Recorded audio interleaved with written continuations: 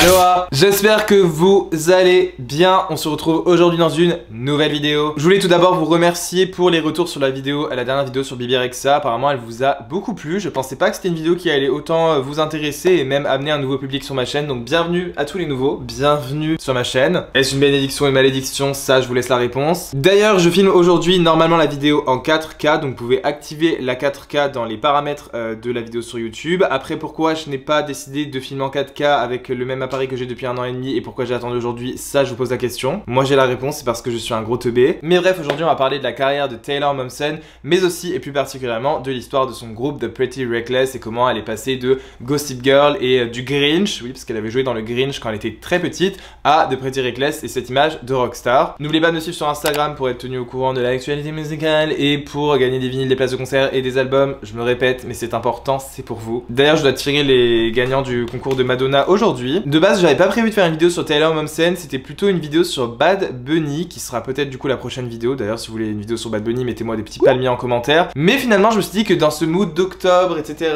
et puis je sais pas, Make Me Wanna Die est réapparu dans ma playlist, et je me suis dit, mais en fait, j'ai jamais vu de vidéo parler de Taylor Momsen, et encore moins de The Pretty Reckless. Je me suis dit, autant en faire une, en plus, c'est le parfait mois, enfin le mois parfait, pour réécouter euh, The Pretty Reckless dans sa playlist, pour remettre leurs albums. Donc si jamais vous ne connaissez pas le groupe, je vais tout vous expliquer. Cette histoire est absolument dingue et Donc j'espère que la vidéo va vous plaire. Parlons ensemble de Taylor Momsen.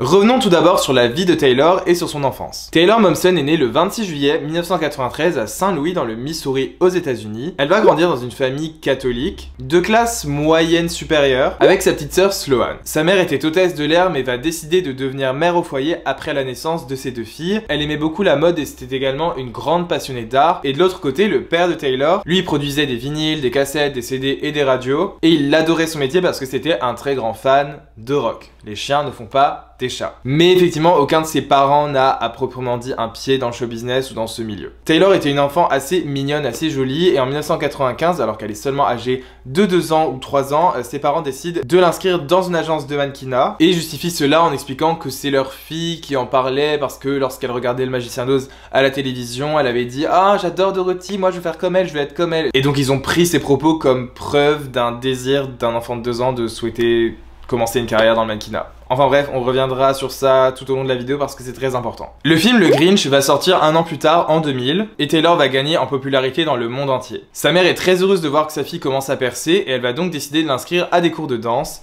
Et tous les profs qui côtoient Taylor parlent d'une fille adorable, avec les pieds sur terre, mais certains vont même jusqu'à expliquer dans la presse que sa mère pouvait avoir une attitude assez oppressante ou motivante. Ça dépend comment on voit la chose. En raison du succès mondial du Grinch, elle va ensuite faire ce que tous les enfants stars ont fait, enchaîner les rôles à un très jeune âge. Elle sera donc à l'affiche de We Were Soldiers en 2002, notamment avec sa sœur qui va jouer sa sœur dans le film, Spy Kids 2 et l'adaptation de Hansel et Gretel. La gosse a donc 9 ans et est à l'affiche de 3 films la même année. Je vous laisse imaginer le rythme de travail. À ce même âge, elle va assister à son premier concert avec son père, celui des White Stripes, et comme beaucoup d'artistes, c'est une véritable révélation. Elle se dit, ok, ça j'aime bien, c'est ça que je veux faire plus tard. Par la suite, après avoir enchaîné tous ces films, elle va prendre une petite pause pour, non pas se reposer, mais bien aller à l'école primaire et suivre des cours tel une enfant normale. Elle va donc ensuite rentrer au collège et beaucoup d'anciens élèves expliquent qu'elle était assez discrète, qu'elle ne parlait pas souvent de sa carrière euh, d'actrice, et qu'elle avait déjà évoqué à l'époque l'idée de créer un groupe de rock. Bon après, il y a énormément d'adolescents, surtout dans les années 2000, qui avaient cette idée de créer un groupe de rock lorsqu'ils étaient au collège. J'en faisais partie. Mais pour le coup, quand on connaît le futur de Taylor, c'est vrai que c'est assez parlant de voir qu'elle avait vraiment ce souhait de créer un groupe de rock et que ce n'était pas vraiment pris au sérieux parce qu'elle était actrice. Elle va donc attendre 4 ans avant de marquer son retour au cinéma en 2006. Taylor a 13 ans et elle sera à l'affiche du film Saving Shiloh, qui est toujours un film pour enfants. Et en 2007, elle va auditionner pour une série. Je vous laisse imaginer de quelle série on parle. Gossip Girl.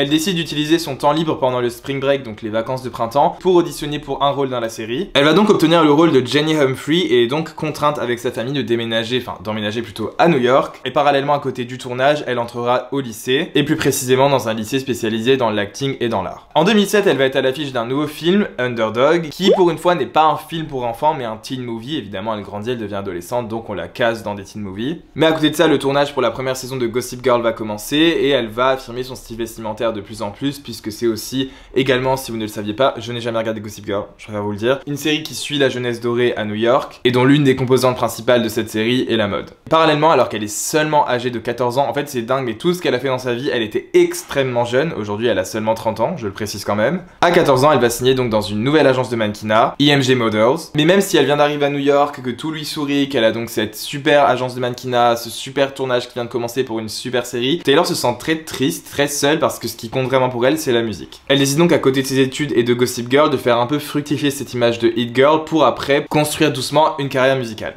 On est donc en 2008, Taylor a 15 ans et elle va faire appel pour rencontrer plusieurs producteurs parce que comme je vous l'ai dit, ce qu'elle a envie de faire, c'est de la musique. Mais en étant l'actrice blonde aux yeux bleus la plus stylée qui tourne dans la série pour ados la plus plébiscitée du moment, sur quel genre musical les producteurs vont-ils proposer à Taylor de travailler? De la musique pop. Sauf que c'est hors de question pour elle euh, de s'embarquer encore dans un truc qui ne lui plaît pas, elle veut pas faire de pop, c'est sûr qu'ils ont vu la blonde aux yeux bleus, ils se sont dit toi tu vas nous faire du Katy Perry, sauf qu'elle a pas du tout envie, donc elle leur dit Toz, je ne ferai pas de la pop. On lui propose de nombreux contrats dans des maisons dans des labels, avec de très gros chiffres, un très gros montant, mais elle refuse, puisque ce qu'elle veut vraiment privilégier, c'est son style d'écriture et sa vision créative, et surtout le rock. Elle va donc prendre son temps pour trouver les bonnes personnes avec lesquelles travailler, et surtout avec lesquelles elle pourra construire une carrière solide, et la carrière qu'elle souhaite enfin avoir, puisque ça va faire 10 ans qu'elle travaille et qu'on lui a jamais vraiment demandé son avis sur les choses. Et c'est à ce moment-là que l'univers lui sourit et lui offre ce qu'elle souhaitait puisqu'elle va faire la rencontre de Kato Kwandala, qui est un producteur de rock. Celui-ci va la présenter à l'un de ses amis Ben Phillips, puis les trois vont commencer à passer beaucoup de temps ensemble en studio,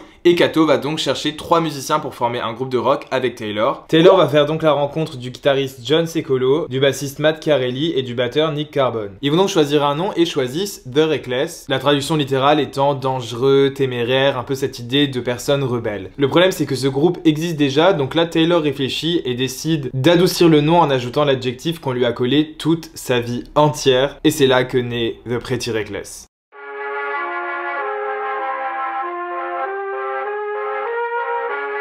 L'emploi du temps de Taylor va devenir très vite surchargé. Chaque jour, elle se lève à 4h30, elle se rend sur le lieu de tournage de Gossip Girl, elle termine ses scènes jusqu'à environ 19h, puis elle file au studio d'enregistrement. Et en fait, vu que dans les yeux du grand public, elle était le personnage Jenny Humphrey, elle se dit le seul moyen pour moi de changer mon image drastiquement et de faire en sorte qu'on puisse s'intéresser à mon univers rock et ma future carrière musicale, c'est que le changement s'opère aussi dans le style de Jenny Humphrey. Et donc à partir de la saison 2, le personnage de Jenny va être beaucoup plus dark, beaucoup plus edgy, va avoir un style beaucoup plus rock, et Taylor a déclaré à ce propos. Le show essayait d'incorporer des éléments de la vie réelle dans la fiction, et c'est ainsi que j'ai commencé à choisir mes tenues et à me maquiller moi-même. Et apparemment, j'ai bien apparemment, c'est aussi ça qui explique expliquerait ce maquillage en fait un peu ses yeux de panda là avec tout le fard à paupières parce qu'apparemment elle était tellement fatiguée vu qu'elle enchaînait les cours, les lieux de tournage et les sessions studio que ses cernes étaient tellement prononcées qu'elle se devait en fait de les, de les maquiller. Et donc elle s'était dit bah en fait au lieu de mettre de l'anti-cerne pourquoi ne pas faire en sorte que mon maquillage soit de plus en plus accentué? Voilà. Et aussi petite autre parenthèse, mais c'est à cette époque que va surgir et faire surface sur euh, les réseaux sociaux et sur internet une vidéo d'elle en train d'échapper au paparazzi qui est absolument iconique et très très drôle. On la voit sauter des escaliers, courir, sauter sur des voitures, escalader des trucs, enfin bref, vraiment cascada la meuf, enfin cascadeuse, pas cascada, mais qu'est-ce que je raconte? Et il s'est avéré que c'était en réalité une pub pour Nike, ça a jamais été vraiment confirmé par Nike, mais clairement c'était une pub pour eux puisque bah on voit clairement que c'est pas Taylor même à la fin de la vidéo, et parce que ça avait été riposte sur les réseaux sociaux de Nike, euh, notamment sur leur compte Insta et sur leur page Facebook. Enfin bref, comme je vous l'ai dit, le rythme de vie euh, en 2009 de Taylor était tellement tellement intense qu'elle doit choisir euh, entre soit l'acting, soit l'école ou soit la musique. Je vous laisse imaginer qu'elle décide donc de couper court à ce qui ne leur apportait pas d'argent. Elle arrête l'école à 16 ans.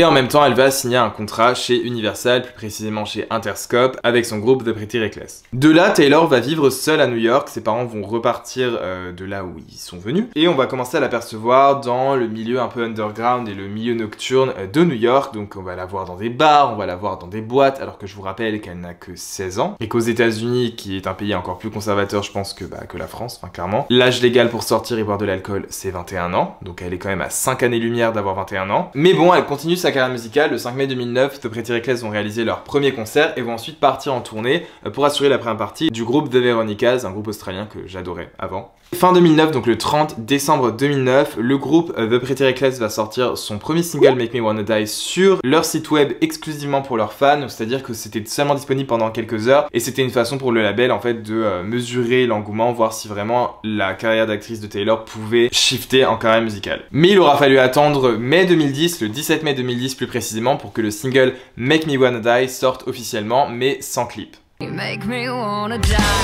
Le single est très bien reçu par les critiques musicales, surtout spécialisées dans le rock. Et un mois plus tard, The Pretty Reckless vont sortir leur premier EP, le 22 juin pour être plus précis, et l'EP va contenir trois titres. L'EP n'est pas vraiment pris au sérieux par les critiques musicales, Billboard vont même le qualifier de générique. Et pour les gens qui sont dans le rock, c'est juste un EP euh, fait par une actrice de Gossip Girl qui cherche à casser son image, mais qui n'a aucune passion pour la musique ou même quelconque intérêt pour le rock. Taylor était assez saoulée parce qu'elle a tout misé sur sa carrière musicale euh, dès le début. Elle se dit en plus, elle part dans une carrière musicale rock, elle fait même pas de pop ou quoi que ce soit. Et évidemment, en tant qu'ancienne actrice de Hollywood et même en étant surtout une jeune femme, elle n'est pas prise au sérieux dans, dans, le milieu du rock et dans la musique. Enfin bref, la sortie de cette EP a permis à The Pretty Reckless de partir en tournée avec le Vans Warped Tour. C'était une tournée légendaire, enfin un festival légendaire aux États-Unis et au Canada, je crois, où en fait les têtes d'affiche c'était tous les groupes un peu emo rock, punk rock de l'époque, donc genre Paramore, Sum 41, etc. J'aurais rêvé d'y aller. Et c'est là où les vidéos de Taylor en live ont commencé à buzzer sur les réseaux, où on la voit avec ses outfits assez iconiques, donc les grosses plateformes, les nuisettes, où on la voit même à des moments elle est limite bourrée, elle a envie de vomir sur scène. Enfin bref, c'est là où on commence à avoir une petite hype se dessiner autour de The Pretty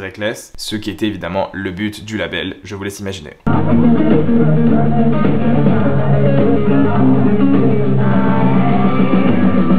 Après cette tournée, les trois membres, donc autres que Taylor, vont quitter le groupe et vont être remplacés par trois autres membres. Ben Phillips à la guitare, donc vous avez dit au début que c'était Kato qui avait présenté Ben Phillips à Taylor, et donc il devient guitariste de The Pretty Reckless. Mark Damon à la basse et Jamie Perkins à la batterie. Et les membres sont restés les mêmes depuis 2010. Enfin bref, leur premier album, Light Me Up, va sortir le 31 août 2010. Les thèmes abordés, c'est ce qui est assez de courant dans le rock, donc ça va être la mort, l'amour, le sexe, le rock'n'roll, les substances et la religion. L'album reçoit globalement de très bonnes critiques et le genre dominant étant surtout pop rock. Et sur Metacritic, l'album va même recevoir une note de 74 sur 100. L'album se hisse à la 65e place du classement Billboard, avec 9000 copies vendues la première semaine, ce qui n'était pas un mauvais score pour un album de rock à l'époque. Il se hisse à la 6 place du classement au Royaume-Uni, et aujourd'hui d'ailleurs disque d'or au Royaume-Uni puisqu'il s'est écoulé à plus de 100 000 exemplaires. 5 singles de l'album ont été exploités, Make Me Wanna Die, Miss Nothing, Just Tonight, My Medicine et You. Et je vous laisse imaginer que c'est un album que j'ai saigné quand j'étais au lycée, mais vraiment je l'écoutais en boucle. Enfin bref, l'album sort et vu que les critiques musicales, même spécialisées dans le rock, le reçoivent très très positivement, elle se dit ok c'est bon, on va lancer la machine, c'est l'heure de casser mon image, je vais faire ce que je veux, vous n'êtes absolument pas prêts. L'objectif pour elle, clairement, à cette époque, en 2010-2011, c'était de casser son image parce qu'elle se dit j'ai un album à promouvoir, il est bien reçu par les critiques, euh, j'ai un label qui me soutient derrière, Gossip Girl ça commence à me saouler, donc vous savez quoi, maintenant je vous fais un gros fuck et c'est parti, c'est moi, j'ai 17 ans, je suis folle, je fais ce que je veux. Donc comme je vous l'ai dit, l'été 2010 déjà, ça avait fait pas mal le buzz avec tout les vidéos d'elle qui enfin qui tournaient pardon sur les réseaux, sur scène et tout quand elle chantait avec ses outfits assez iconiques d'ailleurs. Très bonne idée d'Halloween, costume, enfin se déguiser en Taylor Momsen. Voilà, je dis ça, je dis rien. Les plateformes, les nuisettes, les colliers de punk, euh, le maquillage, les longs cheveux, enfin bref, Taylor Momsen quoi. Et alors qu'elle est en pleine promo de son premier album avec The Pretty Reckless, le 13 septembre 2010, donc la quatrième saison de Gossip Girl est diffusée à la télévision américaine. Et le personnage de Taylor devient de plus en plus absent. On n'a pas eu de raison officielle qui a été donnée, que ce soit par l'équipe de production ou par le management pardon de Taylor. Mais apparemment c'était dû à une grosse différence de vision créative entre donc Taylor et euh, l'équipe de production de Gossip Girl. Et aussi parce qu'apparemment Taylor n'avait pas un super comportement sur le tournage et elle s'en foutait un peu en fait de, faire la saison et de jouer Jamie quoi. À côté de ça, elle va aussi devenir égérie pour la marque de vêtements de euh, Madonna et sa fille, donc Material Girl, mais également pour le parfum Parlez-moi d'amour de John Galliano. Le 20 septembre 2010, il aura fallu quand même attendre 4 mois, le clip de Make Me Wanna Die sort et c'est un énorme scandale qui éclate parce qu'on voit Taylor euh, se déshabiller bah, au fur et à mesure du clip pour finir par se jeter dans une alors qu'elle est seulement âgée de 17 ans. Donc je laisse imaginer que l'Amérique conservatrice qui regardait Gossip Girl, c'était pas fun fun. Le 18 octobre 2010, elle est aperçue sur le tournage de Gossip Girl en train de fumer une clope et ça a fait scandale à l'époque. Après, ça pourrait pas vraiment faire scandale aujourd'hui, mais vu qu'elle avait 17 ans, c'est mal passé. Je suis désolé, j'ai dû fermer mes volets parce qu'il y avait trop de soleil. Le 21 octobre 2010, Taylor va encore faire scandale puisqu'elle va apparaître sur scène avec du scotch sur les tétons et avec un collier où on pouvait lire l'inscription slave, donc qui veut dire esclave. Mais elle explique que c'est simplement un personnage scénique de elle qui met en scène et qu'elle ne regrette absolument rien. Le même mois, elle va faire la couverture du magazine Revolver. Je suis pas sûr que je puisse la mettre sur YouTube. Euh, c'est pas que c'est choquant, mais je pense que... Enfin, je vous la mettrai en barre d'infos, le lien pour voir la couverture. Et elle apparaît dessus en lingerie avec des guns. Donc effectivement, vu qu'elle avait que 17 ans, ça a choqué pas mal euh, de personnes qui la suivaient depuis Gossip Girl. Et dans l'interview, Taylor va faire plusieurs révélations. Elle explique qu'elle n'a jamais souhaité devenir actrice, que c'était en quelque sorte ses parents qui l'avaient forcée lorsqu'elle était plus jeune, que la célébrité c'est vraiment pas ce qu'on pense et que c'est comme si on était coincé au lycée éternellement. Et elle va même jusqu'à parler en fait euh, de sexe et même de se faire plaisir soi-même, ce qui a choqué un bon nombre de lecteurs, sachant qu'elle n'avait que, encore une fois, 17 ans. En novembre 2010, la quatrième saison euh, de Gossip Girl va donc être diffusée à la télévision. Et Taylor va apparaître dans l'épisode 10 de celle-ci, mais après ça, toutes ces scènes sont coupées au montage. D'ailleurs, dans cet épisode, elle va tourner aux côtés de Tim Gunn qui faisait une apparition dans cet épisode. Et il déclare à son sujet, je trouve ça assez choquant parce qu'en plus le mec c'est un daron et tout, mais bon bref, je vais vous expliquer. Quelle diva, elle était pathétique et ne pouvait même pas mémoriser ses répliques. Alors qu'elle en avait très peu. Je me suis même demandé pourquoi sommes-nous retenus en otage par cette morveuse. Perso, je trouve que même si elle avait une attitude qui était mauvaise sur le set ou quoi que ce soit, ça reste une ado de 17 ans, mec, t'en as passé 50, enfin bref, je trouve ça assez choquant, mais bon, ça regarde que moi. Et Taylor a évidemment rétorqué en expliquant Dès que j'ai eu l'âge de pouvoir prendre mes décisions et de faire ce que je voulais, j'ai abandonné plein de projets et j'ai eu raison de le faire. Au même moment, elle va rompre son contrat avec IMG Model. Et pareil, certaines rumeurs affirment que c'est parce qu'elle avait un mauvais comportement sur les lieux de shooting, mais euh, d'autres expliquent que c'est parce qu'en fait elle voulait se consacrer simplement à la musique. Elle continue en 2011 où elle déclare dans une interview que ses vibros sont ses meilleurs amis et elle apparaît d'ailleurs à l'avant-première assez iconique de euh, Never Say Never de Justin Bieber, le film de Justin Bieber film autobiographique qu'il a sorti genre 3 ans après avoir commencé sa carrière, enfin bref, où elle apparaît en fait avec une tenue bah Taylor Momsen quoi, sauf que vu que le public de Taylor n'est pas le même que Justin, ça choque aussi beaucoup de personnes. Toujours en 2011, pendant la promo donc euh, du premier album, on lui demande qu'est-ce qu'elle pourrait conseiller euh, aux enfants qui souhaitent se lancer dans euh, le milieu de l'entertainment et de la musique, enfin plutôt de l'acting à Hollywood, et elle répond ceci, ne le faites pas, sauf si c'est vraiment votre passion. C'est la pire industrie qui existe. En 2011, Taylor et son groupe vont partir en tournée avec Evanescence. En fait, Taylor avait vraiment le soutien de la chanteuse d'Evanescence Emily parce que Emily savait que c'était très compliqué pour euh, une femme de se faire une place dans l'industrie musicale et encore plus particulièrement dans l'industrie, enfin dans le milieu pardon du rock, sachant que c'est un milieu qui est très misogyne aussi comme le rap, le hip-hop et qui est prédominé par des hommes. Donc effectivement elle se dit ok ma soeur on va être solidaire, je te fais en première partie de mes dates et en plus de ça bah, Taylor était fan de Evanescence depuis qu'elle était petite donc elle était trop contente. En 2012 The Pretty Reckless vont enfin partir pour leur propre tournée qui va accompagner la sortie de leur deuxième EP qui s'appelle Hit Me Like a Man et ils vont même faire réaliser la première partie de Marilyn Manson. Donc là ils commençaient à travailler sur leur deuxième album, Taylor hyper contente, sauf qu'en octobre 2012, alors ça vraiment je me suis dit mais c'était une blague ou pas, euh, la tornade Sandy ravage et détruit complètement le studio d'enregistrement de Pretty Reckless. Toutes leurs maquettes, tous les ordis, tous les disques durs sur lesquels se trouvait en fait le deuxième album sont complètement détruits, enfin partent en fumée quoi. Donc tout le deuxième album, donc euh, la première version de ce deuxième album, n'existe plus et The Pretty Reckless vont donc prendre du retard parce qu'ils sont en tournée et ils vont devoir réenregistrer le deuxième album. Le 16 octobre 2013, le premier single de leur deuxième album, Going to Hell, sort. C'est plus sombre, plus rock, plus assumé et on a même des sonorités métal. Le 13 février 2014, il aura fallu attendre quand même et tout de même quelques mois, euh, The Pretty Reckless va sortir le deuxième single du deuxième album, Heaven Knows. Heaven knows we belong way down below. Et là c'est le scandale parce que Taylor apparaît complètement nue dans le clip. Elle a une croix à l'envers avec une flèche. En fait ça fait référence donc à la cover de l'album et ça fait scandale parce que bah encore une fois elle n'est âgée que de 18 ans. Le deuxième album, Going to Hell, le 18 mars 2014 et connaît un super bon démarrage puisqu'il se vend à plus de 35 000 copies la première semaine et l'album va se hisser à la cinquième place du classement Billboard alors que c'est un album rock. L'inspiration derrière cet album c'est vraiment tout l'héritage catholique euh, que Taylor a reçu de sa mère et cette conception du bien et du mal à travers la représentation de l'enfer et du paradis qui est selon Taylor une métaphore couramment utilisée dans la musique et ce depuis la nuit des temps. À ce moment là évidemment comme je vous l'ai dit il n'y a jamais vraiment de comment dire de sortie d'album ou de single de The Pretty Reckless sans scandale. Et donc là, il y a plein de rumeurs qui enflent comme quoi Taylor serait sataniste, qu'elle ferait la promo de Satan dans ses clips, etc.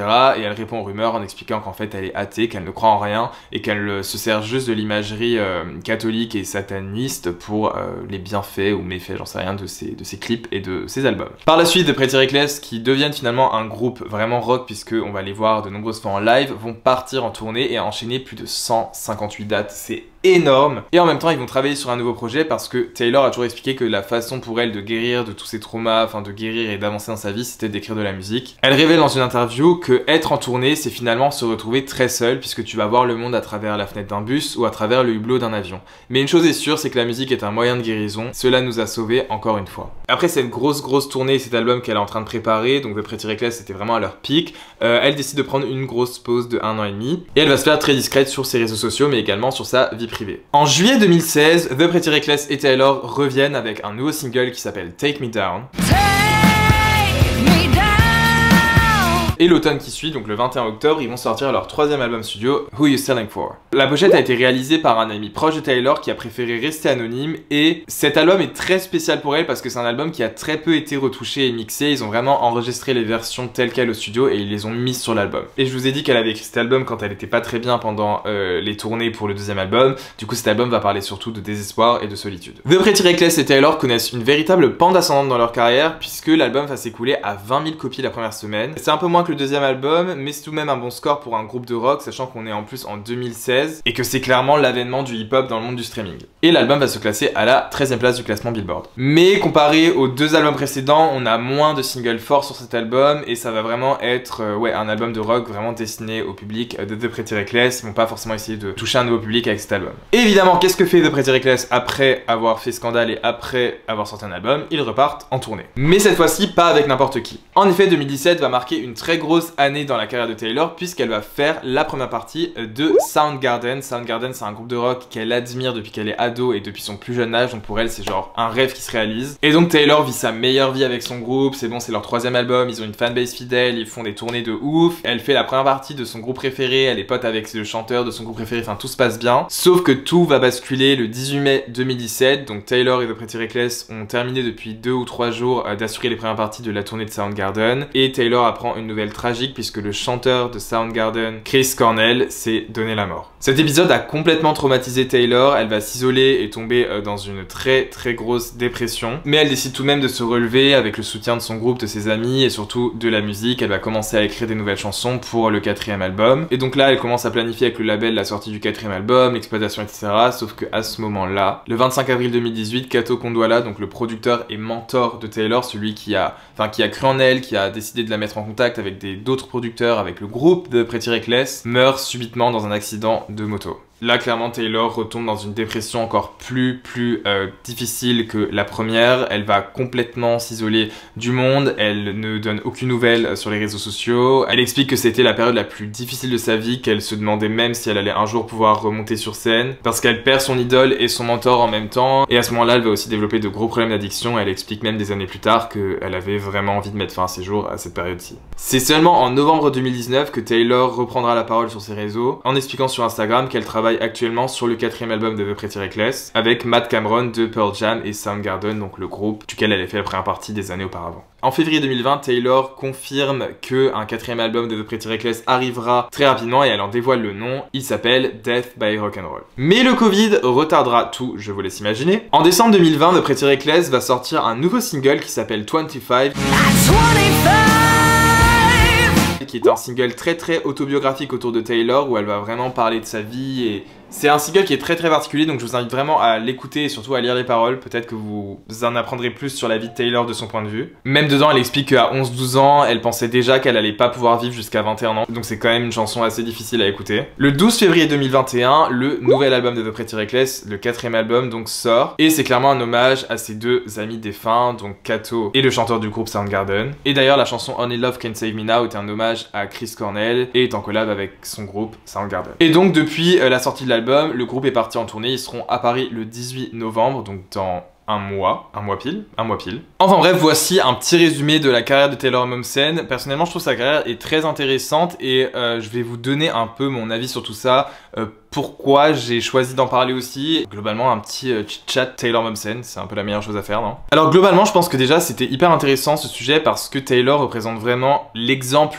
pur de l'enfant star euh, qui a été poussé par ses parents pour euh, faire quelque chose à Hollywood et qui a finalement décidé de suivre ses rêves et de se servir en fait de sa célébrité et de la notoriété qu'elle avait acquis durant toutes ces années pour poursuivre la carrière qu'elle souhaitait. Clairement Taylor n'aurait jamais pu avoir je pense le succès qu'elle a aujourd'hui avec The Pretty si elle n'avait pas été connue de base grâce à, au Grinch, pardon, Gossip Girl. Mais je pense aussi que c'était pas forcément évident de faire le lien entre Gossip Girl et le Grinch avec un groupe de rock. Enfin, le fait qu'elle ait complètement réussi à casser cette image où, euh, quand vous parlez de Taylor Momsen, beaucoup vont penser directement à la rockstar plutôt qu'à la meuf qui avait tourné dans des pubs ou alors la meuf qui était euh, dans Gossip Girl. Bon, c'est toujours le cas, mais je veux dire, on sait aujourd'hui qu'elle est chanteuse et qu'elle n'est plus actrice. Je pense quand même que c'était pas forcément évident. Si elle était devenue pop star, ça aurait été plus évident, mais ce n'a pas été le cas. Et surtout, ça a été très compliqué, je pense aussi, de se faire respecter dans ce milieu en tant que compositrice et surtout en tant qu'artiste, tout simplement. Parce qu'effectivement, ça pouvait vite sonner comme étant euh, gros industry plant, en mode c'est le label qui lui a dit, bah en fait tu vas devenir rockstar, on va te créer un faux groupe, on va te créer un faux storytelling et puis après on va te lancer dessus. Et ce qui est assez intéressant c'est de voir que finalement bah, les ventes de Pretty Reckless sont hyper hyper stables malgré l'absence de Taylor durant quelques années.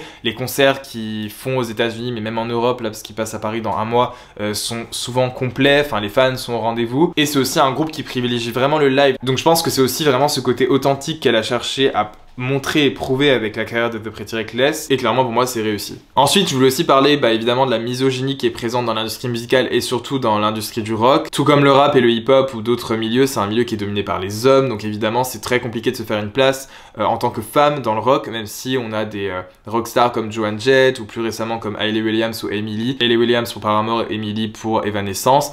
C'est des femmes qui ont quand même dû se faire une place parce qu'elles sont très vite euh, réduites en fait à leur physique, très vite réduites au groupe qui est avec elles en mode si t'avais pas le batteur, le guitariste, toi tu saurais rien faire, etc. Alors que c'est souvent elles en fait les compositrices principales euh, des chansons et des albums des groupes lorsque vous regardez les crédits de composition. Donc je pense aussi que ça n'a pas été évident pour ça, de devoir se faire respecter et de aujourd'hui par exemple d'avoir réussi à séduire un public qui est fan de base de rock et même de rock des années 90 ou de grunge des années 90 alors qu'on est une femme dans l'industrie musicale donc euh, ça c'est toujours compliqué et je pense que c'était important le préciser. Troisième chose qui était aussi très intéressante avec euh, ce sujet c'est que je trouve qu'il y a un truc un peu divin avec Taylor où elle a clairement compris qu'elle avait un visage d'ange, qu'elle représentait un peu genre l'enfant star ou l'enfant modèle de l'Amérique et elle s'est dit pourquoi ne pas utiliser ça pour casser mon image en portant des plateformes? Enfin, je trouve qu'il y a vraiment un contraste entre ouais, ce physique d'ange où elle a cette longue chevelure blonde avec cette peau hyper pâle qui rappelle aussi un peu bah, tout mouvement gothique et tout et ce côté hyper hyper trash, hyper gothique avec les baris déchirés, les nuisettes, les, les colliers avec des chapelets. Enfin, je trouve que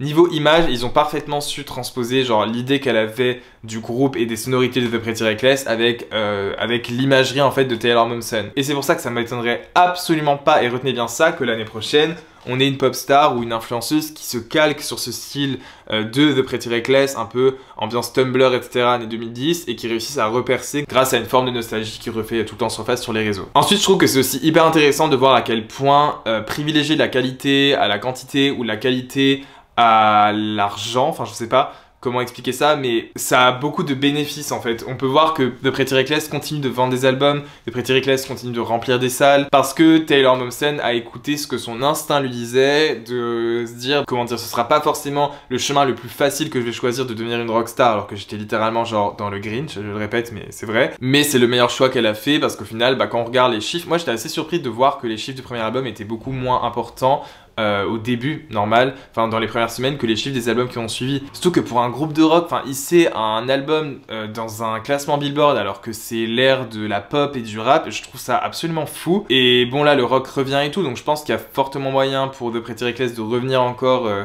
comment dire, euh, dans, le, dans les classements ou même dans la hype, que ce soit même sur TikTok ou autre. Mais c'est vrai que c'est pas évident et je pense que ça a surtout été dû à la détermination et la passion de Taylor. Ce qui est aussi important, c'est que Taylor a vraiment voulu mettre en avant au début bah, l'image et tout euh, pour vendre le premier album, je pense, parce que c'était en accord avec son label. Et par la suite, elle a vraiment voulu mettre en avant la musique. Le premier album, il était très très axé pop rock, un peu punk rock, enfin surtout pop rock, ça pouvait passer à la radio, alors qu'à partir du troisième album, Who Is Selling For, clairement c'était beaucoup moins radio-friendly, c'était vraiment destiné rock, et même la pochette du troisième album, elle s'était dit vas-y fuck, je m'en fous, je me mets même pas dessus, enfin on la voit, euh, c'est un dessin le truc, alors que de base, l'image de Pretty Reckless, c'est vraiment Taylor, c'est comme ça qu'on visualise euh, le groupe, comme Maroon 5 avec Adam Levine, comme Emily avec Evanescence, comme Paramore avec Ellie Williams, enfin comme No Doubt avec Gwen Stefani, et je pense qu'elle a bien compris, mais il y a un truc, je sais pas, très mystérieux et très bien trouvé avec Taylor, où elle représente vraiment parfaitement les sonorités du groupe, je sais pas, peut-être que je me répète, mais en même temps j'avais envie de le dire. Et le dernier point bah, que je vous ai dit évidemment, c'est que je suis certain que il va y avoir une nouvelle Taylor Momsen qui va arriver dans l'industrie, je sais pas qui encore, mais j'en mets ma main à couper. Et même on voit qu'il y a plein de pop stars en ce moment qui font ça, enfin Miley Cyrus, Demi Lovato, Olivia Rodrigo, enfin il y a vraiment cette envie de devenir un peu une rockstar et de casser son image avec ça, mais je pense qu'on est loin euh, encore d'avoir une personne qui cassera son image comme Taylor a pu le faire en 2010 avec The Pretty Reckless. Donc reste à voir, mais en tout cas j'espère que cette vidéo vous a plu. Moi j'ai beaucoup aimé la faire, j'ai vraiment galéré à la faire parce que mon appareil photo, enfin mon appareil a coupé euh, toutes les deux minutes donc je suis hyper fatigué, ça fait deux heures que je filme limite. N'hésitez pas à me dire en commentaire si cette vidéo vous a plu, si vous voulez aussi que je parle de plus d'artistes euh, qui sont dans le rock et moins dans la pop. N'hésitez pas aussi à me dire quels sont vos sons préférés de The Pretty Reckless, je serais hyper curieux de le savoir. Je vous fais plein de bisous, on se retrouve très bientôt pour une nouvelle vidéo sur ma chaîne. Évidemment, vous savez très bien sur quoi ce sera. Et ça ne sera pas sur du rock, mais bel et bien sur Midnight de Taylor Swift. Je vous fais plein de bisous je vous dis à bientôt. Peace.